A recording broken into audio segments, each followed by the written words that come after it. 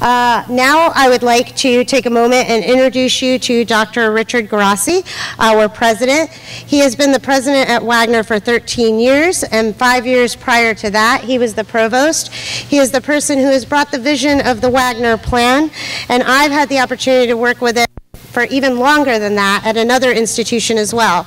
And he is one of the most caring and committed individuals to making sure that all of you have a good experience. So Thank you. Okay, I have to negotiate. Welcome. It's delightful to uh, have you all here today. This is the spirit of Wagner. You saw it all day long if you were moving in early this morning or after the day. This picnic we're about to have in a few minutes. This is a community. It's a very special community, a very caring community. We will challenge our students to think for themselves. We will push them hard in terms of academic learning and maturity and the like, but we also put our arm around our students. We care deeply about them. They're our, they're our treasure. So I'm so happy you chose Wagner at the end of the day. Um, I'm so happy to be at Wagner. My wife Karen is here. She teaches in the education department. And both of us have really so committed to this institution. I teach a course myself in the fall for honors, an honors um, seminar. Uh, so I get to be with the students as much as I can as well. And if you see me in the dining hall or on campus, I know it's not cool when you're in high school, but it's cool when you're in college. Say hi, tell me what you're doing. I'm going to ask you one question all year long. What three things do you like about Wagner that you want to keep and grow, and what three things do you want to change? Because we get our best ideas from our students. Um, as I said, this is a special place. This building behind me, Main Hall, was built in 1929. It was the first building, real, really the first real building at Wagner. There was a few buildings before it that preceded it uh, when it was just forming. The college, uh, the institution, I shouldn't say the college, the institution started in 1883 in Rochester, New York as a Lutheran seminary, high school seminary, where the local ministers were really concerned about the onslaught of immigrants coming into the uh, up, upper part of New York State all the way through the Midwest to Detroit, working in industry, and felt that they were so, somewhat lost and needed assistants, and they thought the best thing they could do is to create more pastors to take care of them. So they started a high school seminary. It became Wagner Seminary when a, one of the uh, benefactors of, the, of that seminary had a son who died before he could actually enter. He wanted to become a pastor. So they named the institution after that family.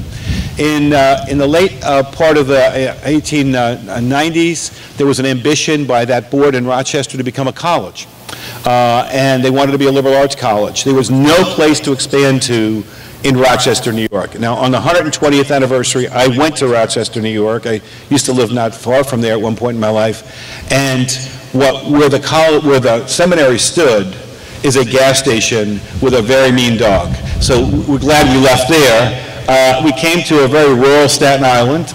It was just part of uh, New York City. The five boroughs came together in 1898. So this is in 1918. The seminary relocated here with the ambition of becoming a college. The land that we're on, part of the land that we're on, was owned by the Cunard family, the Cunard shipping family, hence Cunard Hall on the other side of campus. That was their summer home. And uh, some, of the, some of the grounds were from the um, uh, Vanderbilt family, which is also from Staten Island. So the college has grown over the years from being this quaint little institution uh, to being, as you can hear from Ruta's statistics, an international as well as a national institution. We're very proud of who we are.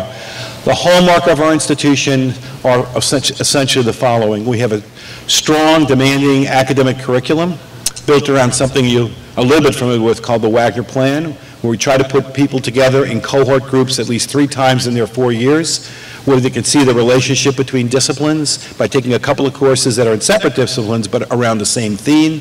We try to take advantage of our New York City location by putting you in field work so you can see the relationship between what you're studying and the real world context for it. That's the Wagner Plan in essence. Uh, and of course, as I said earlier, we are a very personal, caring community. You'll see that over and over and over again. You saw it today, and you'll see this consistently throughout the, uh, the time at Wagner.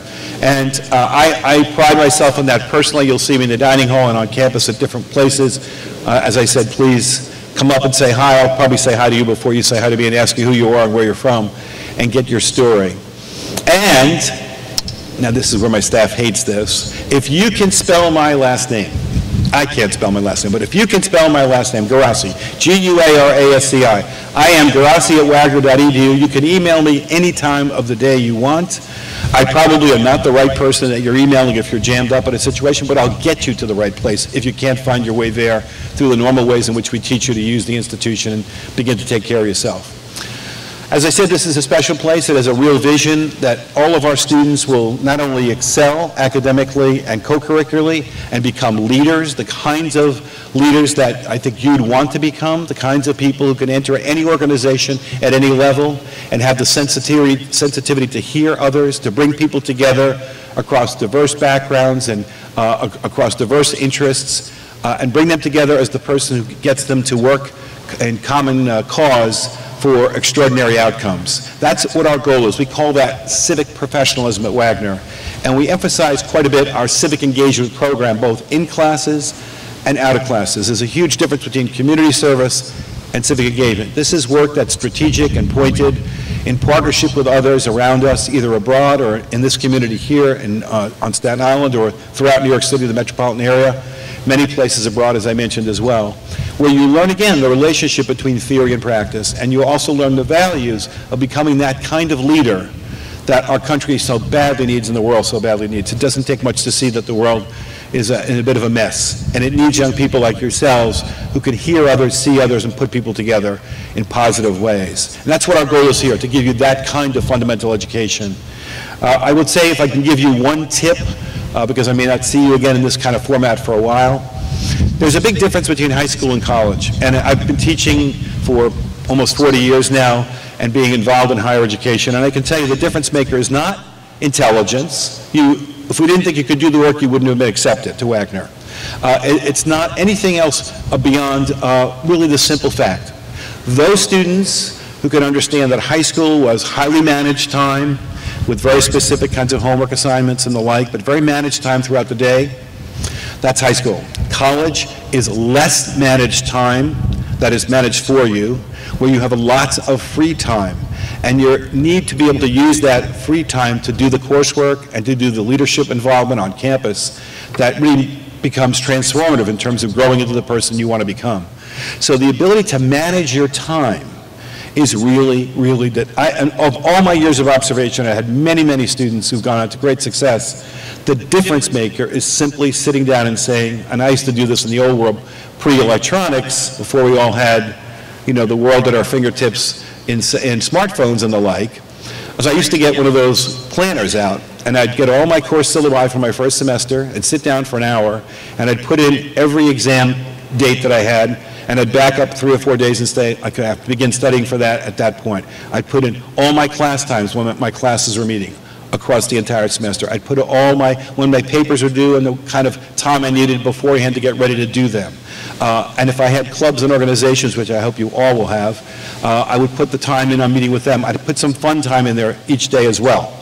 But I'd look up after an hour, an hour, 10 minutes of doing that, and I would have planned out my days, including some free time for myself. But I would have essentially created, managed my own time, and be, being able to just say, when you're high or low, all I have to do is stay on the schedule I built for myself, I will be successful. And you will be, because you'll have done the work, you'll have put the time in. As you'll see, the faculty here are incredibly committed to their students. We pride ourselves in those relationships, so people are going to be behind you to get you to understand those things which are at first confusing. And that's the difference maker. So it's the ability, in a sense, if I could put it in a larger context, in college you're beginning to write your own story. In college, you're beginning to take charge of your life. You learn that over the four years. In, in college, you, you realize you're directing your own movie, okay, as opposed to having it directed and you're acting in somebody else's movie. And the quicker you can grasp that, the quicker you can understand that about yourself, um, is the, the, more successful you'll be in college. So I look forward to seeing you. We're going to have a little picnic afterwards in a few, in a few minutes uh, and be able to get to meet more of you uh, personally. And uh, I know there's a series of things that are going on after me, but I have the pleasure of introducing to you our provost, the dynamic Dr. Lily McNair, who uh, has been with us now three years, and who's our academic leader, and is just a little dynamite, as you'll see. So here's Lily McNair.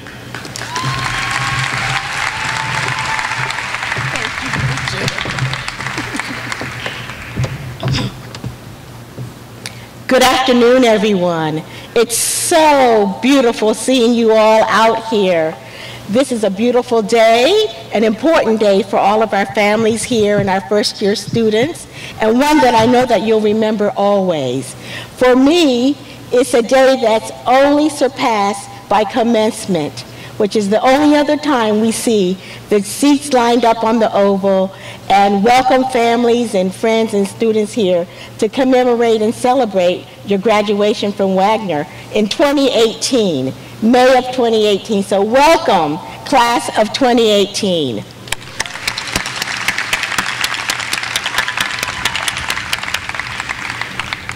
We've been busy these last several months preparing for your arrival here. And I want to say a few things about the academic program here. I want to start out with the great news that we've just hired seven new faculty members from fields as diverse as biology and sociology to economics and nursing. They bring great energy and dynam dynamic perspectives on their disciplinary areas, as well as their commitment to the Wagner Plan, which I'll say a little bit more about later.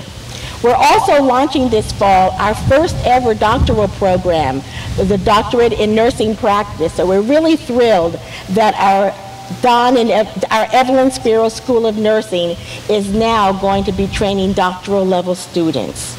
We're also beginning a new program in our MBA uh, strand focused on media management in an effort to really keep abreast of the ever-changing world of digital media. So we're really pleased to be welcoming new students into this arena as well. And I'm happy to say our faculty are working on developing a film and media studies major and concentration. So there's lots of exciting things going on.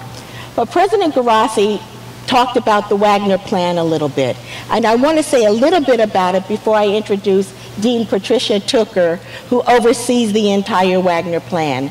Many of you know that the academic curriculum at Wagner is really, really developed around our very distinctive program, the Wagner Plan. Entitled The Wagner Plan, The Practical Liberal Arts, this is an academic curriculum that weaves together theoretical knowledge within disciplines with experiential learning in applied settings. Let me say that again because that's quite a mouthful. We weave together theory within disciplines with experiential learning in applied settings. So in the first year, each of you will be part of a learning community that's taught by two professors in two distinct disciplines you and about 19 other students will take three courses together. One course with one professor, one course with the other professor, and then another course called the reflective tutorial, where you really integrate the perspectives you're learning in both of those courses and apply them to real world situations. So for example, last year I taught a learning community as a psychologist with Dean Tooker. And we, I, I taught Psych 101. She taught a, an course on health issues, and we focused, focused on psychosocial factors involved in health and health disparities. So we brought each of our unique perspectives to address an important problems and issues within our society. And that's what's unique about the Wagner Plan. We really focus on interdisciplinary approaches to learning. Because if you think about it, all of the major significant problems and issues that we face as a global community require us to have perspectives from different areas, whether we're talking about energy and sustainability issues, whether we're talking about health pandemics, peace, or world hunger, it's very rare that we will see only one unified perspective in an effort to solve those problems. So we really focus on exposing our students in a very real way to interdisciplinary thinking and approaches, and it gives them opportunities in the real world to apply this knowledge. It's a great deal of work, it's a great deal of fun, as all of us get involved together in this exploration. You're going to be taking courses here that you will never see on any other college campus because our faculty create these courses to address unique interests and needs. So I'm excited for you as you begin to take part in your learning communities. This is the core of the Wagner Plan. This is the core of how we train our students to be the civic professionals that President Guarasci has referred to. So to each and every one of you, whether you come from as far away as New Zealand or around the corner in Staten Island, or maybe from Chicago or Texas, we welcome each and every one of you.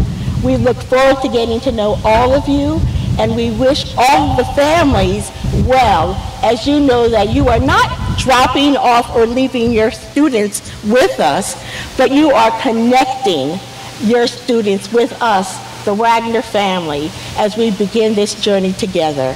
So at this point, I'd like to introduce Dean Tooker, who is Dean of Integrated Learning and Associate Professor of Nursing, who will talk to you in a little bit more detail about the Wagner Plan. Thank you for coming today, and I look forward to talking to you afterwards during the picnic.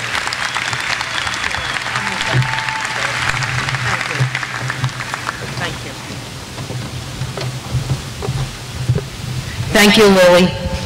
And of course, Richard. Following Richard and Lily, I don't know what else there really is to say other than the fact that the 19 learning communities with almost 40 of our faculty has been a work in progress. I am responsible, as Richard and Lily have told you, to oversee the Wagner Plan for the Practical Liberal Arts. I am the matchmaker for the faculty, as well as the community partners, along with many of the colleagues, of my colleagues that are either here or will be here on Monday morning.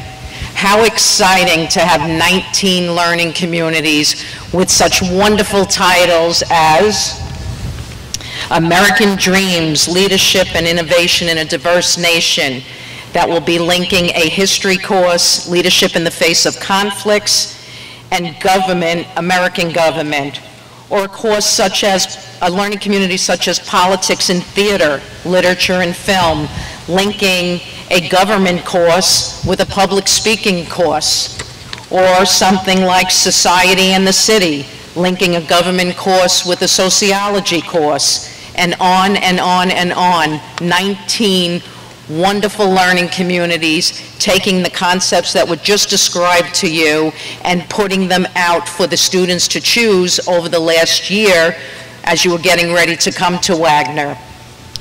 Many, many, many colleges have learning communities and interdisciplinary teaching and learning, but not like Wagner.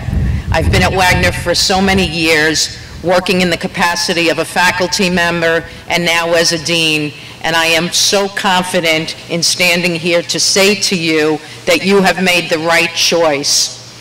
A recent publication indicated that liberal education provides both broad knowledge in a variety of areas and knowledge in a specific major or field of interest. It also helps students develop a sense of social responsibility as well as intellectual and practical skills that spanned all areas of study, such as communication, analytical and problem-solving skills, and a demonstrated ability to apply knowledge and skills in real-world settings. As a backup to that publication, a, a very large survey was done by employers recently 94% of employers say it is important to provide this type of education for today's students, and 51% say it is very important to do so. So you've made the right choice. I am so happy to meet all of you, class of 2018, as you enter into a wonderful environment where we will, I am confident, prepare you to be the person the professional, and the community member that the world needs. Welcome.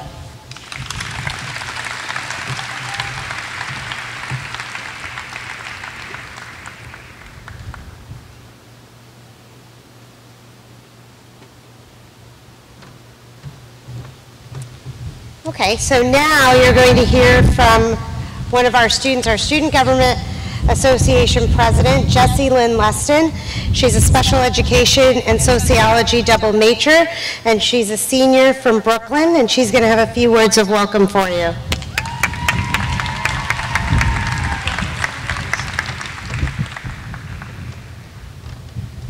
Okay, guys. I'm not that great of a public speaker as them. Okay, here we go. So, like she said, my name is Jessie, and I'm your student body president. I'm from Brooklyn, and I'm a special education major. So, I'm just going to give you a little bit of information about the SGA. So, the Student Government Association, otherwise called the SGA, is the official representation of the college for, stu for student or group concerns. We work with the students, faculty, and administration to improve our campus, and we're the governing structure for all the, all the organizations on campus. So that include uh, academic clubs, honor societies, fraternities, and sororities, as well as specialized groups. So we challenge student issues to enhance the campus. So from big ideas to small ideas, nothing is too big or small. And the student government works really hard to take your praises and suggestions to make Wagner a better place than it already is. Okay, so today is your first day of college, and I'm sure you've heard from a hundred people that uh, it goes so fast. You're gonna, it's gonna happen in a blink of an eye. And I really wish that they were lying when they said that because it's very true. I feel like my freshman move-in was just yesterday and all the upperclassmen moved in my stuff and I thought, wow, this wasn't, that wasn't even that bad. That was so easy. And it definitely is quite the opposite now. It takes me three days to move in. And my mom is screaming at me, pack lighter, in her Italian Brooklyn accent, which is pretty scary. And not as scary as moving in your first day freshman year, but it comes pretty close. So just always remember that everyone is nervous. We're all on the same boat. So everyone is nervous and excited and scared, so just have fun. So I have a couple of words of advice, three actually. So first is to just be yourself, be silly and be crazy and just be you because Wagner is far from normal. I promise you that. So we're fine. um, second is to not write anybody off. I remember when I walked into my room freshman year, as my roommate Daniela was posting a bunch of posters of Barbra Streisand all over my walls. And um, she wanted the entire room to be color coordinated exactly to her bed sheet. And I thought, I think this girl might be crazy. And now we're the best friends ever, and she's actually my sorority. So you just never know what's going to happen. Uh, my last piece of advice is to just get involved. So join every club or organization you think that you even have the slightest, slightest interest in. And you can join all those at Club Fair. Don't ever knock it until you try it because you might love the club, you might love the people, or you might love both. And if you want to create a new club, you can contact me.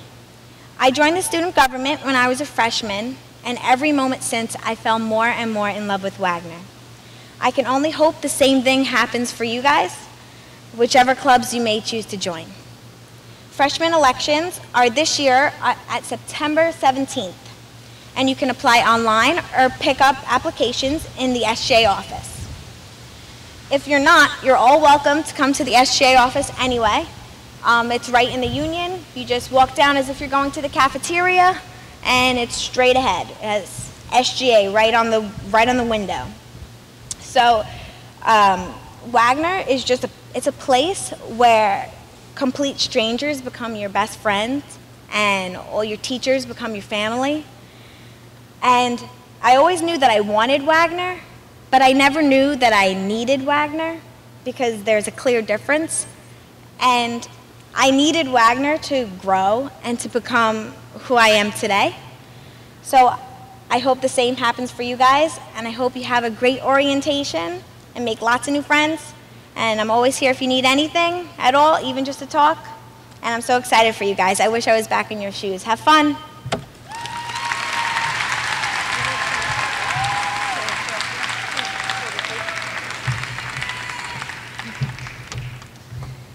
And now I'd like to invite up Christian Grotwild and Darnell Kenny, your orientation leaders.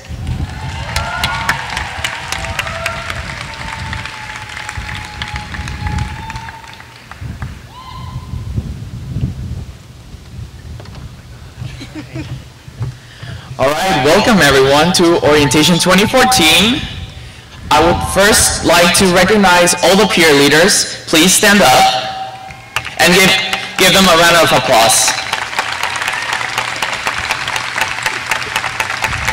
And because you guys have been such an amazing group of people, we really would like you to, ser- to share the stage with us. So come on up.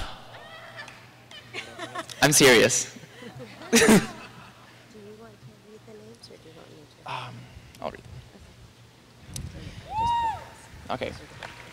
And also, we will be celebrating nine birthdays over orientation weekend, two of which are today.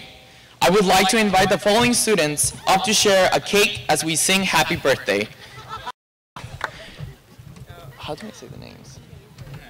Kadea. Kadea Augustus, Lydia Sherman, Dominic Landu, Jeffrey Wisnwecki, Nathaniel Como, Daniel O'Neill,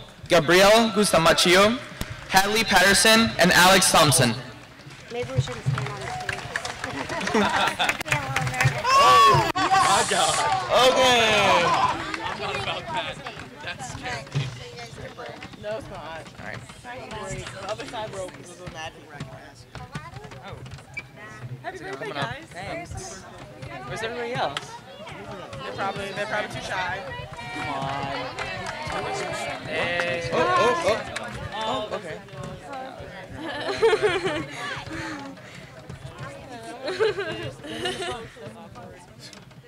No, oh, go go. All right.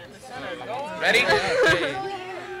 Happy birthday to you. Happy birthday to